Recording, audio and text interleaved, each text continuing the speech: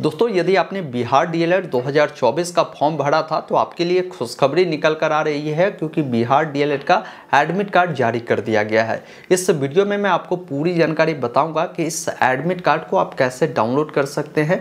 Admit card download करने के बाद आपको आगे की प्रक्रिया क्या करनी है, आप जब एग्ज़ाम देने जाएँगे तो क्या क्या लेकर जानी है, तमाम जानकारी मैं अभी आपको बताने जा रहा हूँ। अंत तक जुड़े रहिएगा, पूरी जानकारी अगर डिटेल में समझना है तो वीडियो पसंद आए तो इससे लाइक भी कर दीजिएगा और वीडियो को अपने दोस्तों के साथ भी शेयर ज़रूर कीजिएगा।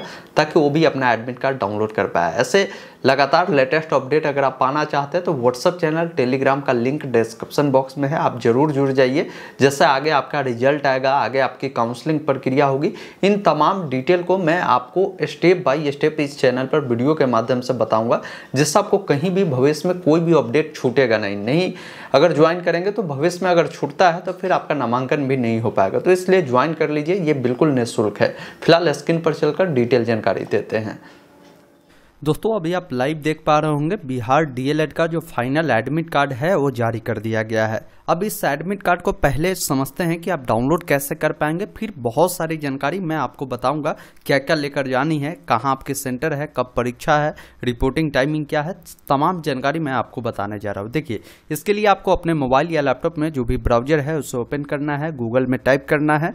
ऑनलाइन अपडेट एसटीएम आपके सामने, online update STM dot in का यह ऑफिशियल वेबसाइट खुलेगा। इससे आपको ओपन करना है और नीचे आना है, यहाँ पर एडमिट कार्ड वाले सेक्शन में बिहार डीएलएड एडमिट कार्ड का लिंक मिलेगा, जिस पर आपको क्लिक करना है। नीचे स्क्रॉल कर कर आएँगे, डायरेक्ट आपको यहाँ पर लिंक मिलेंगे। लिंक वन जो ऊपर में दिए गए हैं, आपको इस वाले लिंक पर आपको क्लिक करना है। अब आपके सामने इस प्रकार का डैशबोर्ड आएगा, जहाँ पर आपको सबसे पहले अपना एप्लीकेशन नंबर फिल करना होगा। ये एप्लीकेशन नंबर जब आपने फॉर्म भरा होगा उस समय आपको मिला होगा, वो एप्लीकेशन नंबर डालेंगे। जो आपका पासवर्ड होगा, वो डेट ऑफ़ बर्थ होगा। तो डेट ऑफ़ बर्थ किस प्रकार डालेंगे?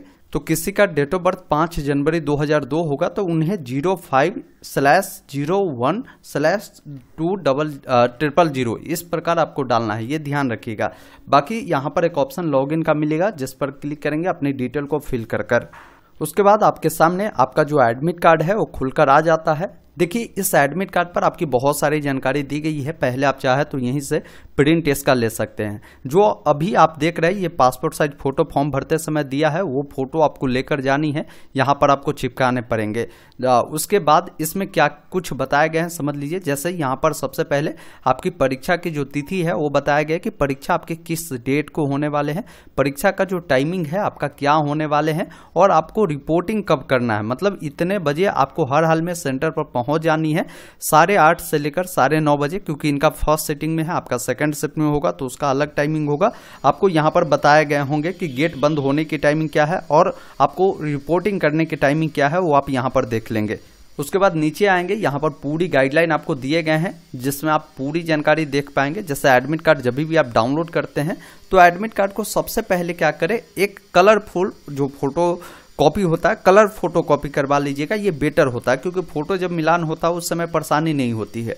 उसके बाद दूसरा काम ये करना है कि इस एडमिट कार्ड को आपको प्रिंट तो करा ही लेना है लेमिनेशन नहीं करवानी है। उसके बाद इसके साथ आपको कोई आईडी कार्ड लेकर जानी है। आईडी कार्ड क्या क्या हो सकते हैं? तो आपके जो आ, ये वोटर आईडी कार्ड होता है आपके आधार कार्ड होता है उसके अलावा आपके ड्राइविंग लाइसेंस है पासपोर्ट है पैन कार्ड है या पासबुक है ये इनमें से कोई भी एक डॉक्यूमेंट आप ले जा सकते हैं उसका फ़ोटो कॉपी या आप चाहे तो ओरिजिनल आप ले जा सकते हैं। इसमें आपको बताया गया कि जो ऊपर में फ़ोटो चिपकाने की जगह दिए गए हैं, वहाँ पर आपको फ़ोटो चिपकाने की ज़रूरत होगी। जब आप परीक्षा देने जाएँगे तो बिना अगर आप कोई आईडी कार्ड लेकर जाते हैं तो फिर आपको प्रवेश नहीं करने दिया जाएगा। जैसे ही आप सेंटर पर पहुँचते हैं तो पूरी तरीके से आप सीसीटीवी के निगरानी में होंगे। जब भी आप जाते हैं परीक्षा देने तो जूता, मोजा, ये सब जो है, पहन कर नहीं जाना है। आपको चप्पल और जो हाफ़ टी शर्ट होता है, आप यही पहनकर आपको जाना होगा। बाकी जो आपके एडमिट कार्ड पर परीक्षा की तिथि, समय और जो भी केंद्र दिए गए, इसमें कोई भी परिवर्तन किसी भी कीमत पर नहीं हो सकता है। बाकी जो भी गाइडलाइन है, आप अपने स्तर से भी देख लेंगे। जो महत्वपूर्ण जानकारी था, वो हमने आपको बता दिया। नीचे जब स्क्रॉल करेंगे तो और भी आपको यहाँ पर जानकारी दिए गए हैं। जो आप यहाँ से पढ़ सकते हैं और इसका प्रिंट ले सकते हैं।